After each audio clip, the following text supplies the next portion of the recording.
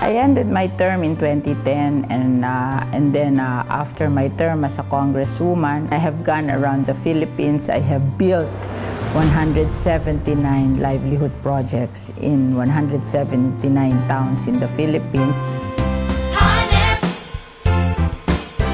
When you put a waste coconut husk into the machine, then lumalabas yung fiber which you can uh, twine and weave into coconut.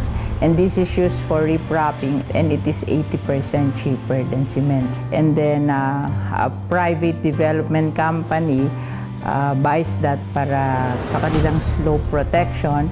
70% of the waste coconut husk will turn into uh, fiber but 30% will be what you call coco mga granules which you can uh, turn into organic fertilizer or charcoal. Very good source of charcoal. It's the grandparents of these present parole makers who started making parole. And then uh, they make this parole and uh, every December they sell. We are the Metro Manila capital of parole. Hindi na lang for Christmas. So, uh, whole year round, nakakagawa sila. There was this uh, blanket weaving center in Abra and they came here and taught us and so we were able to make blankets. Then uh, it's our women who who make the blankets now and we, we don't buy anymore. We use it to give uh, as assistance during uh, flooding and during uh, fire.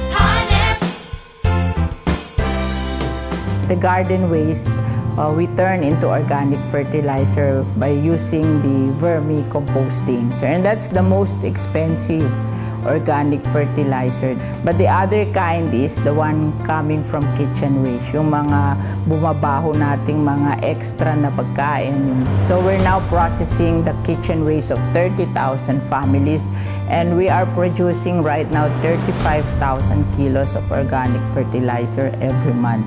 We give them away to the farmers kasi uh, mahal din ang bumili ng organic fertilizer.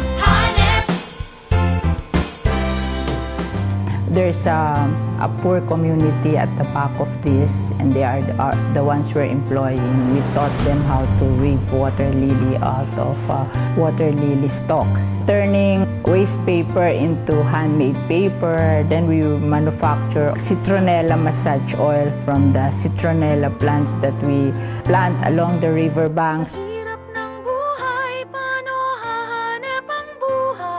I don't think I can give them all employment, but I, if I build one, then I can inspire the others that it can be done. Uh, let's say if you build one in the 1,600 cities and on the average you employ 50 families, then you will be employing around 75,000 families. And uh, I think that's a, that's a very good goal in helping our people overcome poverty.